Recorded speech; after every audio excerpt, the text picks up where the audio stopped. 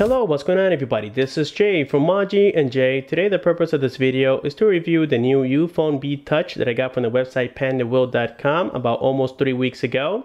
This model, if I'm not mistaken, goes for $159 and it is an absolute beast in performance. I was overall impressed on how well this phone does for the price. Now, before we get into the review, let's go ahead and jump into the physical aspects of the phone. And the first thing you're going to find on the front is a 5.5 inch. It is a 5-point multi-touch screen. And it has a resolution of 1280 by 720 pixels and also comes with a 2.5D arc screen, which means that by the edges, it's going to bend a little bit, making the phone look very nice and elegant. Then looking towards the top, you're going to find a 5 megapixel sensor camera. We also got the LED flash, which I think is an absolute waste. That thing is not even bright enough for nighttime. We got the ear speaker and also the proximity and light sensor. On the bottom, we're going to find the menu key. We got the home key, which is also a fingerprint scanner, and it is very comfortable and very sensitive as well. We're going to be testing that in just a moment. And finally, we got the back key, but we can see that the menu key and the back key don't light up. That was a little bit of a downer, but at least they glow at nighttime. Looking towards the left side of the phone, we find here a metallic frame. We also got the volume rockers up and down together with the power button located on the same side. Something that I don't prefer, but at least it does the job. On the top, you got the 3.5 millimeter headphone jack. We have the charging slash data port, and this one also supports OTG. On the right side, we see we don't have anything here. It's going to be absolutely plain. We only have a metallic frame. And then finally on the bottom, we got the loudspeaker together with the main microphone, which is very sensitive. And you guys are going to listen to that when I do the video test in just a moment. Looking towards the back, we find a 13 megapixel IMX214 Sony sensor, which is great. We also got here the dual LED flash. We have the Ulefone logo and on the bottom is plain this time. Opening the back cover on this phone can be a little bit of a challenge, so you guys have to be extremely careful because it is still made of plastic and you can crack it easily. The great news is that this plastic is a little bit flexible, so I didn't run any risk so far. And I do like the material on the back. It's a little bit rough and it makes you feel like your phone is not going to fall off even if your hands are sweating, which is definitely a plus. Now here we're going to find the battery. This is a 2550 power million battery and I was able to get two days with this one. The first day was a lot of usage. I was doing the GPS, the Wi-Fi, 3G and so on with this battery here and it lasted very, very well. As a matter of fact, I think I ended the day with about 55% and then the next day I was mostly on standby but I did play some games and so on. So that was great and have in mind guys that this phone also supports fast charging which is working very well. I mean it's not going to be as fast as the Samsung Galaxy S6 but least you can get, I would say, from 0% to 45% in about 45 to 50 minutes, which I think is great. Now looking towards the inside of the phone, we're going to find that this is a dual SIM, dual standby device and also supports TF cards up to 128, even though they're specifying that it is only 64 gigabytes. I'm pretty sure that you guys can put it in and the system will read it as well. We find the F1 logo, we find the model, the Be Touch, and then we got the 2MEI information and we can see how well this phone is built. On the top, you're going to find the Wi-Fi and 3G antenna. Um, and then we also got the Bluetooth antenna as well. And this phone does support 4G LTE, but unfortunately the bands are not supported here in the USA. So with that being said, let's go ahead and install the battery and see what kind of logo we got here. And now let me go ahead and press the power button. And the first thing we're going to see here is that Ulefone logo. And something that I would like to mention is that it does have pressure points. So sometimes when you press too hard on the screen, you're going to see that the colors do get a little bit distorted. Make sure you guys are careful because that can damage your LCD easily. Uh, that could be an indication that maybe the glass is too close to the LCD screen or that the glass itself is a little bit flexible. So that was a little bit of uh, quality control I would say that I noticed on this device. But other than that, the display is very nice and crisp. Now here we can see the lock screen. On the lock screen, the first thing that is giving us here is the time. You also got the date. On the bottom says input fingerprint. Now a little bug I also noticed on the lock screen is that even though you're moving it and touching it around, it does still go into sleep mode. It's not supposed to do that if you're touching the screen. As you guys can notice, I am touching it and it went to sleep anyways. On the top, you can't access the quick toggles after inputting your fingerprint. That's because of security purposes or something like that. I'm not sure. That could be also another bug that we have on here. But when we don't have that security um, inputted into the lock screen, it's going to allow us to access all the toggles on the top. And now here when inputting my fingerprint, you guys are going to notice how sensitive it is. It is very, very fast and it doesn't have any failures if you guys are, um, are inputting it correctly. As a matter of fact, you guys can notice that I have a little bit of a cut there on my finger and it is still working perfectly well. I'm not having any misprints at all or misreadings, just to call it that way. Let me go ahead and test my left thumb. And you guys are going to notice that yes, it is quite sensitive. We don't have any failures whatsoever. And don't take me wrong, sometimes if you don't press it on the right angle, it does misread it. So It doesn't do it often, but there we can see guys that for the most part it's working perfectly well. Now here we have a clean version or a clean UI of the Android Lollipop 5.0 and yes it is real. So here we have all the notifications. If you continue to scroll down we're going to see all the toggles. We can of course increase and decrease the brightness. And now that was something that I noticed about this phone that outside the brightness was not very very bright but it is not the worst either as you guys can notice right there. And then we can also see here we got the Wi-Fi toggle, we got the Bluetooth toggle, we had the airplane mode and all those great toggles that we normally like to use and that's definitely great. When we go here into settings, we're going to notice that we don't have any special features on this device. It doesn't have HotKnot and also doesn't have NFC. Uh, the only great thing that we do have is the fingerprint scanner, which I showed you already. It's working perfectly well. Uh, we also have off-screen gestures in which we can double tap on the screen to wake it up. I'll be showing you that in just a moment. So here we can see that yes, that is working as intended. Now, if you double tap it again, it's not going to put it asleep, unfortunately. Let me go ahead and see what other ones we have. We have swipe down. We had to launch the camera in which uh, I think all we have to do is uh, we can just type the letter C. I'm not sure if that's correct. And yes, that is the letter C. So let me go ahead and put it on sleep mode. And of course, it's going to ask me for my fingerprint, but afterwards it's going to take me directly into the camera. So here, let me go ahead and set up my fingerprint. And there we have it, guys. The camera also on this device, which we're going to be talking about in just a moment here, is a very nice quality. Now here, let's go ahead and jump into settings. Again, let's go into about device. Then here we're going to find the Android Lollipop. And this system is very, very good. It's working very smoothly. Have in mind that we do have three gigabytes of RAM. It comes with 16 gigabytes of internal storage and also has the MTK6752 octa-core. Now let's go back here once. Let's go ahead and confirm on apps the RAM available that we have on this device.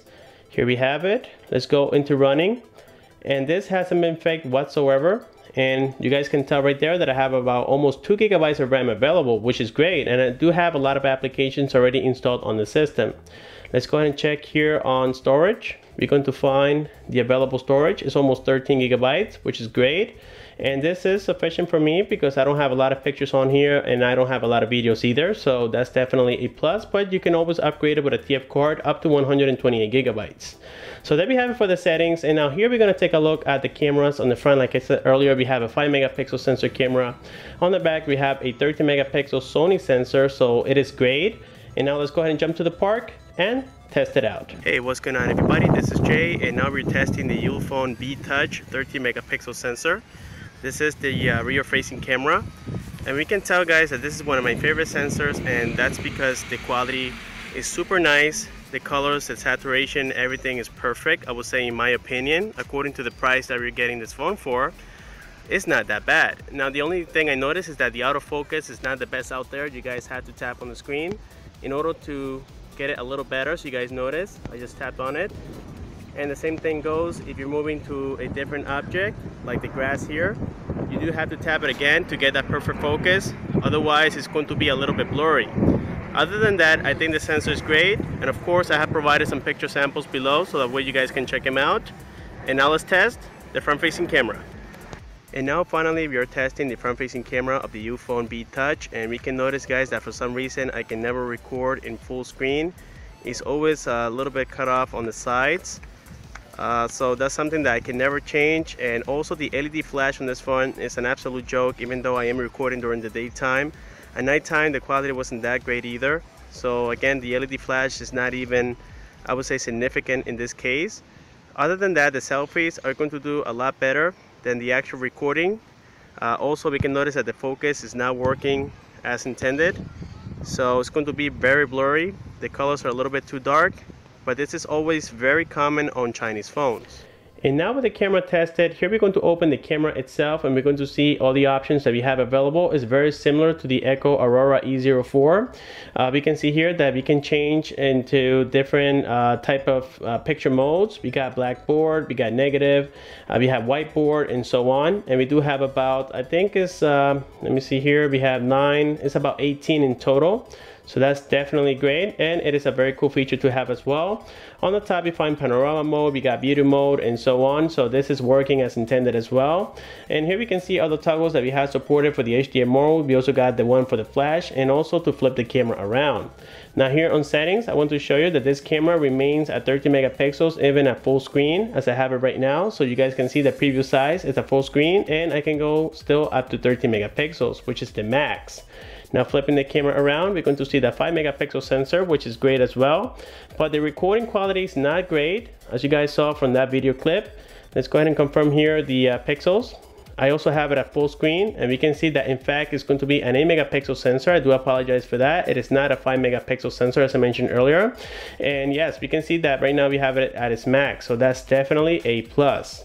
Now let me go ahead and flip this around and let's get back here to the system. And now getting back to the operating system, another great feature that is working well on this device is going to be the GPS. On the road, it was locking a signal very fast. I didn't have any crashes whatsoever with the Maps application and so on. So I was very impressed to see that. And even here from inside of the house, I'm going to open the application. You guys are going to notice that right now it's reading 19 satellites. And that is quite impressive considering that we are inside and uh, outside is a little bit cloudy. Right now it's attempting to lock a signal and it did lock it within i would say 15 10 15 seconds at the most. And the accuracy starts improving after time. It needs about a minute or so. So here we can see guys that yes the gps is working as intended. And again we don't need to root it or customize it to get it this way and now with that being said about the GPS, here we're going to take a look around the system. Of course, I'll be playing with some applications and games that I have already downloaded into the system. So that way you guys can see how well it's working and also check out the gaming. Uh, before we do so, let's go ahead and open YouTube so that way you guys can see that yes, everything's working as intended. And the latest one was about the MStar S700. Let's go ahead and open it. And here we're going to see how fast it's going to be. This is only using the 3G connectivity.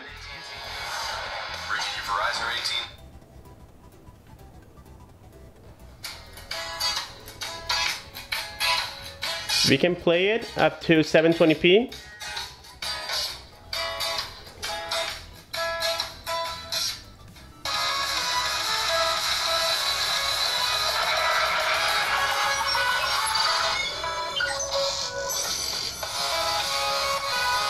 And now after completing that video test, we can hear that the bottom speaker is super, super great.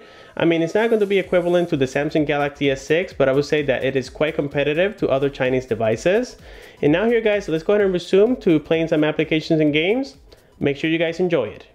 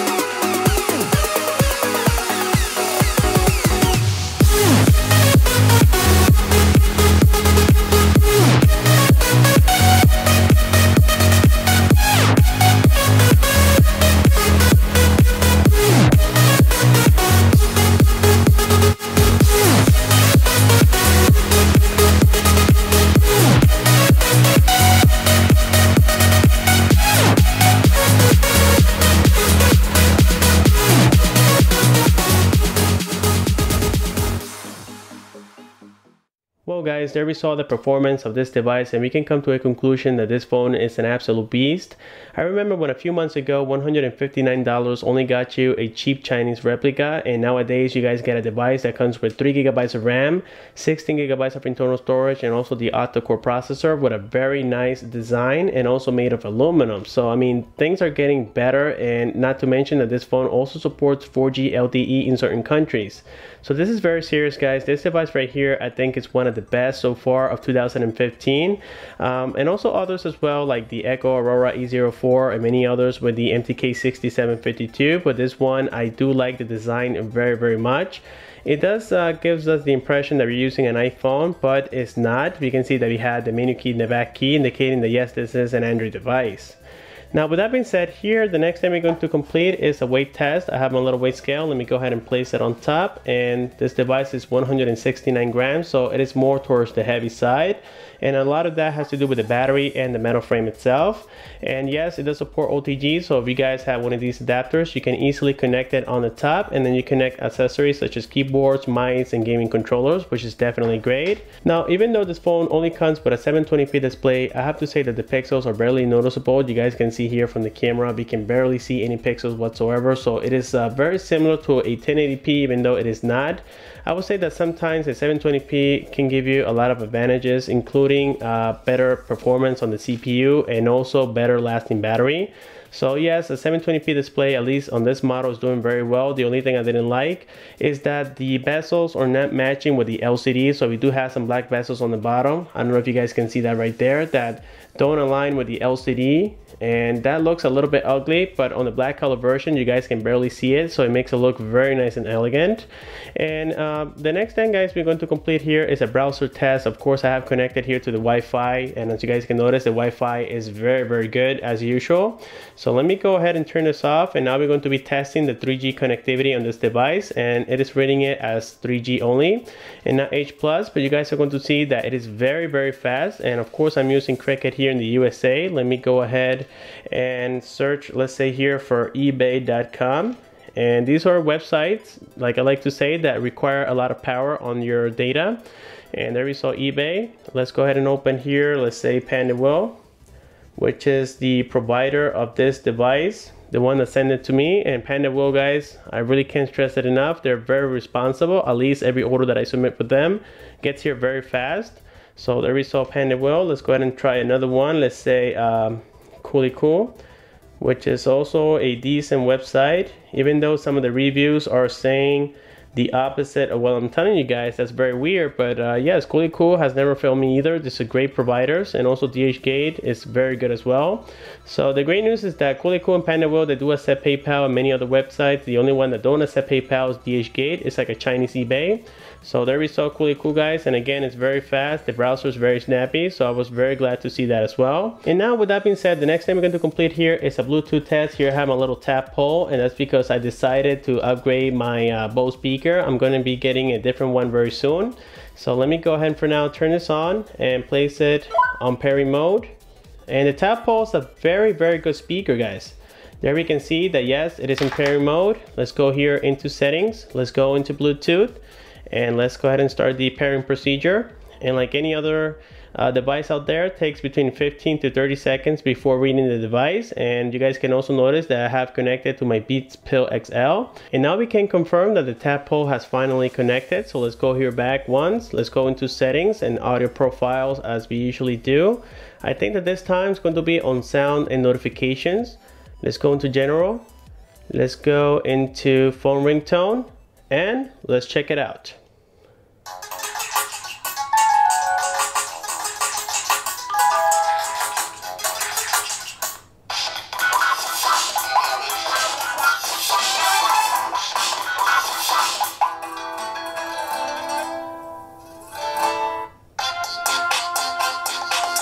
There is a little bit of a delay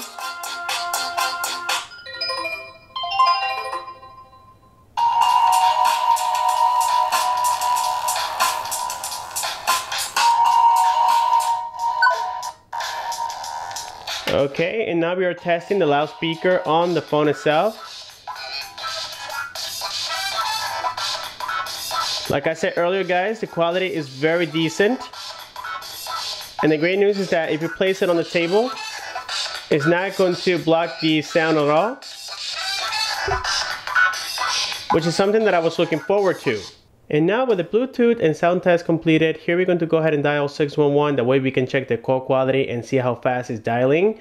I didn't have any issues at all outside on the outdoors and also with the wind and driving and so on, the traffic noise. I didn't have any issues with the ear speaker at all guys. It was very nice and a very good quality.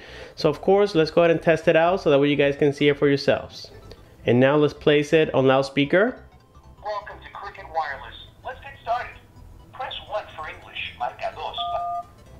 This is the loudspeaker. Just FYI, your current plan is basic, which expires June 23rd. Now let's test the ear speaker quality. Balance. I see. Very, very loud. Here we got the proximity sensor test. Super sensitive.